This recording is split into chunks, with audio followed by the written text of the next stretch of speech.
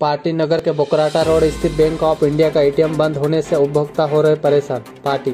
बोकराटा road स्थित bank of India का ATM बंद होने से उपभोक्ताओं को काफ़ी परेशान होना पड़ रहा है। बोकराटा रोड स्थित एटीएम पर दिन भर उपभोक्ताओं की भीड़ रहती थी, लेकिन नागरिकों का कहना है कि बैंक द्वारा पहले ही एक एटीएम लगाया है, लेकिन उपभोक्ताओं की संख्या अधिक होने से काफ़ी परेशानी हो रही है। एटीएम की देखरेख के अभाव में आए दिन मशीन बंद हो जाती है।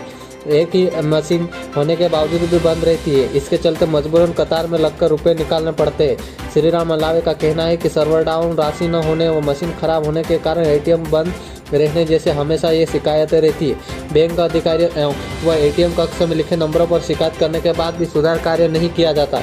इससे हम लोगों को काफ़ी परेशान होना पड़ता है। मजबूरन में तेईस किलोमीटर का सफ़र कर बड़वानी जाना पड़ता है। वहाँ से पैसे निकालते हैं। अगर यह सुविधा नगर में ही उपलब्ध हो जाए तो हमें परेशानी का सामना न करना पड़े। नाम है आपका?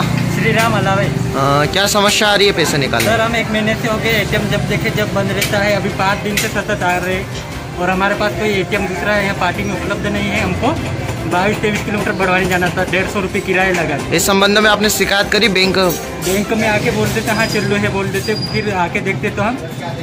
बंद रहता है और पेमेंट भी नहीं रहता अधिकतर। अच्छा। एक बार दस हज़ार रुपये विड्रॉल हो गए बैंक अकाउंट से और पैसे नहीं आए तो वापस दो दिन में वापस अकाउंट नहीं आए क्या मांग करते हो? मांग करते कि जल्दी से जल्द इनकी कार्रवाई